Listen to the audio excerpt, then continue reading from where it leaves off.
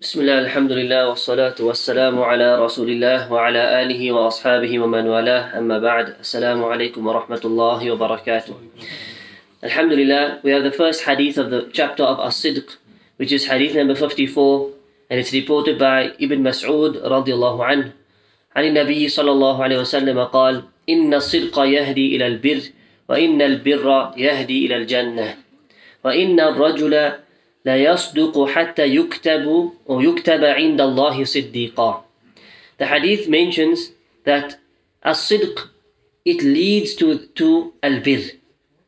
So truthfulness leads towards righteousness.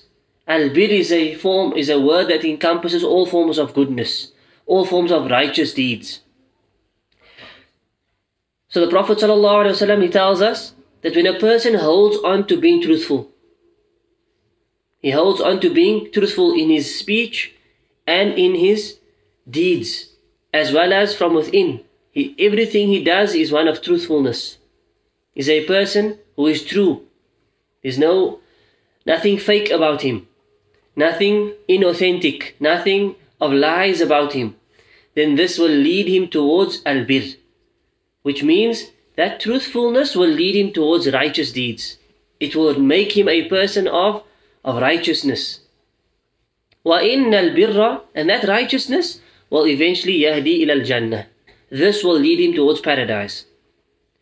Allah Azza wa Jalla said in the Quran, إِنَّ الْأَبْرَارَ لَفِي نَعِيمٍ The people of Bir, those righteous people, they are لَفِي نَعِيمٍ They're in a place of bliss, meaning in Jannah. This is a result of their righteousness, and this hadith tells us your righteousness will be a result of your truthfulness.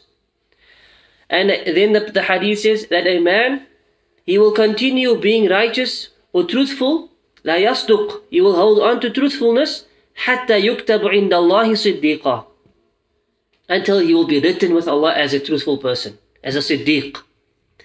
And we have a perfect example of this, which is Abu Bakr as-Siddiq. This was his nickname, as-Siddiq, the truthful one, because of the truthfulness of his iman, the truthfulness of his belief in Islam and in, of course in the Prophet sallallahu alaihi wasallam. The hadith then mentions the exact opposite.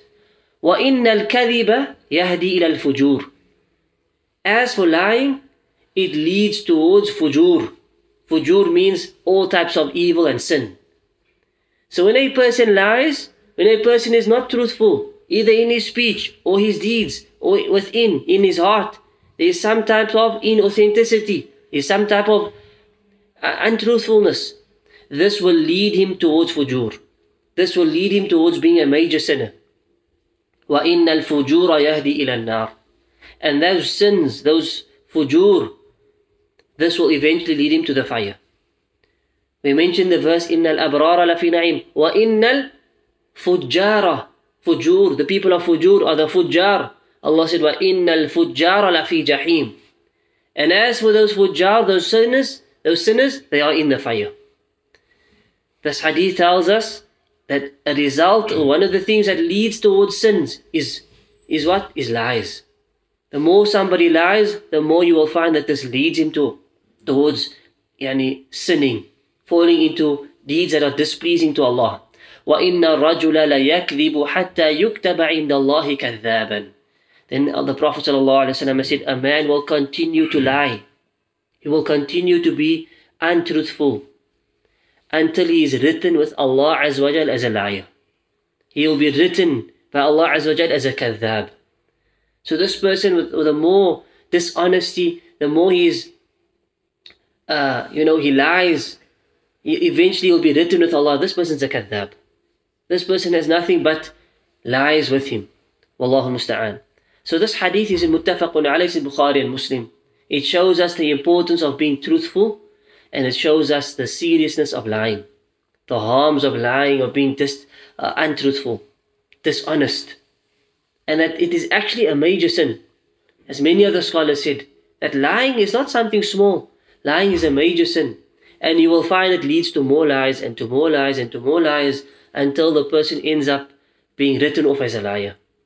People may even know that this person is a, a kadhab, is one of the the consequences of lying. When people realize that, you know, this brother's told so many lies, Eventually, when he speaks the truth, say, no, we can't trust him. This person is a kadhab.